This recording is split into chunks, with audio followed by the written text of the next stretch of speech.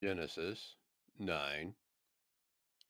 And Elohim blessed Noach and his sons, and said unto them, Be fruitful, and multiply, and replenish the earth. And the fear of you and the dread of you shall be upon every beast of the earth, and upon every fowl of the air, upon all that moves upon the earth, and upon all the fish of the sea. Unto your hand are they delivered. Every moving thing that lives shall be meat for you. Even as the green herb have I given you as all things. But flesh with the life thereof, which is the blood thereof, shall you not eat.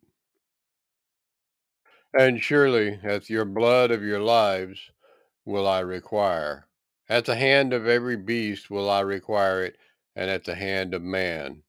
At the hand of every man's brother will I require eth the life of man. Whoso sheds man's blood, by man shalleth his blood be shed. For in the image of Elohim made he man. And you, be ye fruitful and multiply. Bring forth abundantly in the earth, and multiply therein. And Elohim spoke unto Noach, and unto his sons with him, saying, And I, behold, I establisheth my covenant with you, and as with your seed after you, and as with every living creature that is with you of the fowl, of the cattle, and of every beast of the earth which is with you, from all that go out of the ark to every beast of the earth. And I will establish my covenant with you, neither shall all flesh be cut off any more by the waters of a flood. Neither shall there be any more a flood to destroy the earth. And Elohim said, this is the sign of the covenant which I make between me and you and every living creature that is with you for perpetual generations. I do setteth my bow in the cloud, and it shall be for a sign of a covenant between me and the earth. And it shall come to pass, when I bring a cloud over the earth, that the bow shall be seen in the cloud.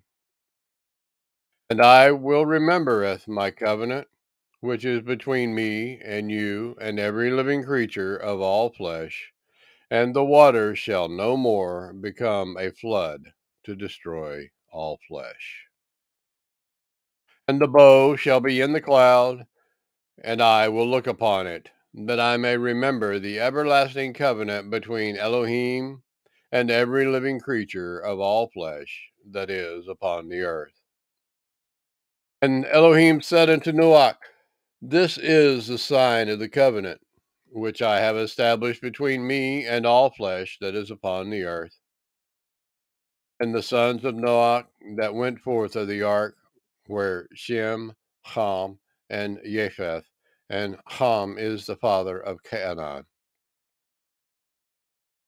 These are the three sons of Noach, and of them was the whole earth overspread. And Noach began to be a husbandman, and he planted a vineyard. And he drank of the wine and was drunken, and he was uncovered within his tent. And Ham, the father of Canaan, saw his nakedness of his father, and told his two brethren without. And Shem and Japheth took a garment, and laid it upon both their shoulders, and went backward, and coveredeth the nakedness of their father, and their faces were backward, and they saw not their father's nakedness. Noach awoke from his wine, and kneweth what his younger son had done unto him. And he said, Cursed be Canaan, A servant of servants shall he be to his brethren. And he said, Blessed be Yahuwah Elohai of Shem, and Canaan shall be his servant. Elohim shall enlarge Japheth, and he shall dwell in the tents of Shem, and Canaan shall be his servant. And Noah lived after the flood three hundred and fifty years. And all the days of Noah were nine hundred and fifty years, and he died.